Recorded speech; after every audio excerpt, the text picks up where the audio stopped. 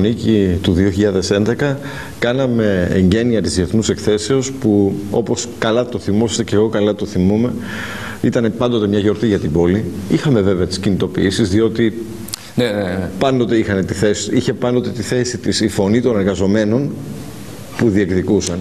Κάναμε όμως εγγένεια στη τη Διεθνή Έκθεση με μεταλλικές μπάρες μπροστά στο Βελίδιο, με επεισόδια όπως φαντάζομαι τα είδατε. Κάναμε εγγένεια με κλειστά τα εστιατόρια μας, διότι οι εστιατόρες αποφάσισαν να τα κλείσουν, να, ίσως ήθελαν να αφήσουν νηστικό τον Με το Πρωθυπουργό, λαό να δεν έχει ξέρω. φύγει. με το λαό να έχει φύγει, με πάρα πολύ κόσμο, ούτε καν να μπήκε στη διαδικασία να ακούσει τι είπε ο Παπανδρέου στην ομιλία του. Ε, πώς τα βλέπετε όλα αυτά; Να, να α, μου επιτρέψετε να σας πω τρεις εικόνες που είναι προσβλητικές και για το λαό της Μακεδονίας και της Θεσσαλονίκης που παρατήρησα α, την τελευταία φορά σε σχέση με τη Διεθνή Έκθεση της Θεσσαλονίκης. Πρώτον, για πρώτη φορά Έλληνας Πρωθυπουργός δεν εγκαινιάζει την έκθεση. Ναι, αυτό, είναι, ναι, αυτό ήταν φαινόμενο. Ε; Δεύτερον, Εγώ είχα προτείνει, είχα προτείνει, μου λέτε τώρα θα γελάσουμε, είχα προτείνει στον κύριο Παπανδρέου μέσω της εκπομπής ότι φέτος είναι καλύτερα να ζητήσει από την κυρία Παπαρίγα να εγκαινιάσει την έκθεση και να μην το κάνει ο ίδιος. Εντάξει. δεν με άκουσε ε, εξ ολοκλήρου, με άκουσε εν μέρη. Α πούμε, δεν την εγκαινίασε αυτός. Δεύτερο. Την εγκαινίασε ένας πιο δημοφιλής υπουργός. Πρώτη προσβολή ήταν αυτή, να Ορίστε. μην εγκαινιάσει την έκθεση. Δεύτερη αντινομία ήταν το γεγονός ότι ε, μιλώντας σε δημοσιογράφους δεν, απίφθηναν, δεν απίφθηναν το λόγο σε τοπικά μέσα ενημέρωσης. Έτσι είναι. Αυτό το, το υπάρχει κάθε χρόνο. Το Όχι, δεν είναι κάθε χρόνο. Κάθε χρόνο. Ίσα ίσα άλλες φορές. Καταλάβω. επιτρέψτε μου ως δημοσιογράφος για να σας πω. Αντιθέτως, άλλα χρόνια αυτό που εγώ έχω ζήσει είναι ότι δίδεται πρώτα ο λόγος στα τοπικά μέσα, εφημερίδες, ραδιόφωνα και τηλεοράσεις γιατί έτσι είναι όχι μόνο η ευγένεια αλλά απαιτείται και από τη στιγμή και από την αναγκη Και το τρίτο, θεωρώ απαράδεκτο το γεγονός ότι ο κύριος Πρωθυπουργός της χώρας βγήκε σε ένα πάνελ συνοδευόμενος από 5-6 υπουργούς και απαντώντας σε ερωτήσεις δημοσιογράφων είδα το οξύμορο να συμπληρώνεται ο κύριος Πρωθυπουργός της χώρας από τους υπουργούς του. Δεν έχει ξαναγίνει αυτό κύριε Λαζάρου, σας διαβεβαιώ. Θυμάμαι πάρα πολλούς και θυμάστε κι εσείς. Είδατε ποτέ τον κύριο Καραμαλή να απαντά σε δημοσιογράφο και να συμπληρώνει το λόγο του ο κύριος Παυλόπουλος για παράδειγμα; Είδατε ποτέ τον κύριο Ανδρέα Παπανδρέου να μιλάει και να συμπληρώνει το λόγο του ο κύριος Μαρούδας, ο, ο αείμνηστος συγχωρεμένος Μαρούδας για παράδειγμα; Επειδή τότε ήταν υπεύθυνος τύπου, γι' αυτό αναφέρομαι. Λοιπόν, σας παρακαλώ. Υπάρχουν μερικά πράγματα τα οποία πρέπει να σεβόμαστε. Ε, Κύριε Παπανδρέου, εγώ θα πω κάτι Εγώ τώρα, θεωρώ έτσι, ότι για να στη διεθνή ξυπνήσω έκθεση- μνήμης, ο Παπανδρέου ε, ξεκινούσε την ομιλία του και κανείς δεν ήξερε τι θα πει, διότι δεν ακολουθούσε ποτέ το κείμενο το οποίο μοιράζονταν στους Η- δημοσιογράφους νωρίτερα. Με συγχωρείτε, η τελευταία προσβολή, η συγκλονιστική, η ώρα μία δίνω συνέντευξη και ξεκινάει τέσσερις και περιμένουν όλοι να δουν τι θα πει και άτυπο Υπουργικό Συμβούλιο συνεδριάζει για να ανακοινωθούν μέτρα. Είναι σοβαρές αυτές οι, οι πολιτικές Γι' αντιδράσεις. αυτό ήρθαν να τα αποφασίσουν αυτά; Μα αυτό ακριβώς αναρωτιέμαι κι εγώ. Ίσως δεν τα θέλαν- πιστεύω αυτά Ίσως που θέλανε έχουν την γίνει. μυρωδιά του Θερμαϊκού να τους εμπνεύσει, κύριε Δημαρά. Τι να Δεν σας ξέρω, δεν ξέρω που πάνε ειλικρινά και εκείνο το Θέλετε οποίο να σας πω φοβάμαι. κάτι το οποίο δεν το ξέρετε. Δε- ε, ίσως το διαβάσατε σε κάποια από τις τοπικές εφημερίδες σήμερα. Ε, την ίδια στιγμή που έκανε την ε, συνέντευξη τύπου ο Πρωθυπουργός ε, στο λιμάνι ήταν προγραμματισμένο να γίνει στην ε, ε, αποθήκη 1 του λιμένος μια εκδηλωσούλα του Συλλόγου Πολυτέκνων που γίνεται κάθε χρόνο παραδοσιακά την, πρώτη, την Κυριακή πριν από την έναρξη των μαθημάτων ή την πρώτη Κυριακή μετά την έναρξη των μαθημάτων. Άλλο θέμα. Μια μικρή γιορτούλα σε 300 παιδάκια, τους μοιράζουν τις τσα, τσάντες και παιχνίδια Μάλιστα. σε πρωτάκια του Δημοτικού. Ναι. Λοιπόν, ε, όχι απλά, όχι απλά δεν τους επετράπει να μπουν στο λιμάνι, δεν ειδοποιήθηκαν ούτε νωρίτερα ότι ξέρετε κάτι, δεν μπορείτε να κάνετε την εκδήλωσή σας στην αποθήκη. Είναι απίστευτα αυτά τα πράγματα. Είναι απίστευτα, Και την έκαναν, όντως. την έκαναν στον δρόμο. Και ήμουνα στο λιμάνι τη- τον περασμένο μήνα όταν είχαμε ξανάρθει γιατί επισκεφθήκαμε και τους εργαζόμενους κτλ. Την έκαναν στον δρόμο. Για την να δούμε τι ακριβώς λένε. Ε, να σας πω μια άλλη ντροπή. Είναι ντροπή αυτό που γίνεται. Είναι ντροπή να πηγαίνουν τα παιδιά στο σχολείο σήμερα και να μην έχουν βιβλία. Να. Και να αλλάζουν φωτοτυπίες μεταξύ τους. Η DVD. Επιτρέπεται μια χώρα πολιτισμένη που ανήκει στην Ευρωζώνη να μην έχει προ- προβλέψει, να μην έχει φροντίσει να δώσει τα βιβλία στα παιδιά. Μου έλεγε η κόρη μου η Ειρηνούλα τώρα που πηγαίνει στην τρίτη γυμνασίου. Ρε παπά πήγαμε σχολείο και δεν μας δώσανε βιβλία. Τι να τις πω εγώ; Γιατί πρέπει να, να, τα λέμε όλα και δεν είναι κακό να, ναι. να μαθαίνονται και να ακούγονται. Το δημόσιο σχολείο τελείωσε. Ναι. Νομική σχολή Πανεπιστημίου Αθηνών πήγα. Τα παιδιά μου στο δημόσιο θυτε, φοιτούσαν και, ε, και μαθητεύουν τώρα. Ε, η Ειρηνούλα είναι μικρή ακόμα. Πολύ ωραία. Αν δεν φροντίσουμε το δημόσιο σχολείο, κύριε Λαζάρου, πού θα πάνε τα παιδιά μας; Ποιος θα τα φροντίσει; Τι παιδεία, τι εμπιστοσύνη μπορεί να έχουν. Τι παιδεία να τους δώσουμε, τι εμπιστοσύνη να έχουν με εμάς; Όταν είμαστε συνεχώς και αδιαλείπτως αναξιόπιστοι και ψεύτες. Διότι περί αυτού πρόκειται. Τι να πω και τι να κάνω. Είδατε εσείς κανένα τα σχολιά της Θεσσαλονίκης, γιατί πήγα εγώ, γύρισα κάποια σχολιά στην Αθήνα κτλ. Είδατε ε, να έχουν ε, ληφθεί τέτοια μέτρα, ώστε ο χώρος να είναι αξιοπρεπής, να δεχθεί τα νέα παιδιά που θα πηγαίνουν στη νέα σχολική χρονιά, να φροντίσουν για την αυλή, να φροντίσουν για τις αθλοπαιδιές, να φροντίσουν για τις αίθουσες, να ξέρουν ότι θα έχουμε το χειμώνα που έρχεται θέρμανση, γιατί υπάρχουν πολλά σχολιά τέτοια. Ή με τους δασκάλους σήμερα που ερχόμουν από την Αθήνα, έτυχε είχε να ακούσει στο ραδιοφωνικό σταθμό ε, της Κατερίνης τους καθηγητές της Πιερίας οι οποίοι είναι ανάστατοι και οι οποίοι λέγανε ότι δεν είναι δυνατόν να μας ε, μετακινούν και να διαλύονται οι οικογένειές μας αλλού να είναι ο άντρας, αλλού τα παιδιά, αλλού η, ε, η γυναίκα εκπαιδευτικός. Ε, αυτά όλα έπρεπε να, είχαν, ε, να τα είχε προβλέψει κανείς για να τα κάνει. Είναι τα ελάχιστα και δεν είχαν κόστος. Δεν ήταν ε, θέμα μνημονίου να φροντίσουμε τα σχολιά μας.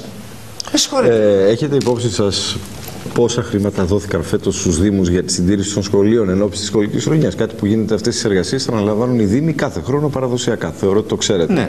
Ε, έχετε υπόψη σας πόσα χρήματα δόθηκαν φέτος για αυτή τη δουλειά στους Δήμους; Αυτό το οποίο γνωρίζω. Εύκολο είναι το νούμερο. Και εκ τη θητεία. Νομίζω ότι το έχετε ήδη μαντέψει. Ναι. Μηδέν. Το, το, αυτό το οποίο γνωρίζω και εκ τη θητεία μου στην περιφέρεια Ορίστε. και το έχω ακούσει και από τον Παναγιώτη τον Ψωμιάδη και τους mm -hmm. άλλους περιφερειακούς συμβούλους ε, ε, του νομού εδώ mm -hmm. είναι ότι δεν έχουν πάρει ούτε ε, μία δραχμή. Και εμείς κάτω ε, στην περιφέρεια των Αθηνών. Ναι. Πήγαμε στον Καλλικράτη, αλλά σας διαβεβαιώ κύριε Λαζάρου, δεν υπάρχει Καλλικράτης. Και δεν λειτουργεί. Και οι αρμοδιότητες που αφορούν την περιφέρεια δεν έχουν αρχίσει να υλοποιούνται.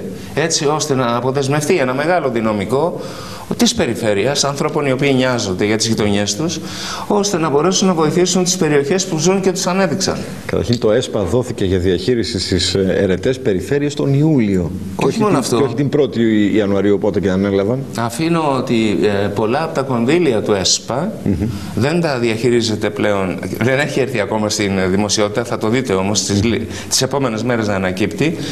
Έρονται από την αρμοδιότητα της περιφέρειας και περνάνε στο Υπουργείο του κυρίου Χρυσοχοίδη, πώς το λένε, ανάπτυξη κτλ. Ναι. Δεν είναι έτσι. Εδώ έπρεπε να. Εδώ, ε, το το υπόλοιπο, έστω, το υπόλοιπο κομμάτι του ΕΣΠΑ που, απο, που αποδόθηκε προς διαχείριση τελικά στην αιρετή περιφέρεια ήταν το 5% του προβλεπωμένου για την κεντρική Μακεδονία, μιας και το 95% είχε απορροφηθεί νωρίτερα mm -hmm. από την αποκεντρωμένη, mm -hmm. ε, ε, διοριζόμενη ε, νομαρχία, περιφερειακή διοίκηση. Έτσι, Όχι νομαρχία, περιφερειακή, περιφερειακή διοίκηση. Σωστά το είπατε. Που εγώ, δεν, που εγώ δεν είπα ότι έκανε κακή διαχείριση ο, ο διοριζόμενος περιφερειάρχης για το Θεό. Σε καμία περίπτωση είναι ένας αξιολογόλογος άνθρωπος.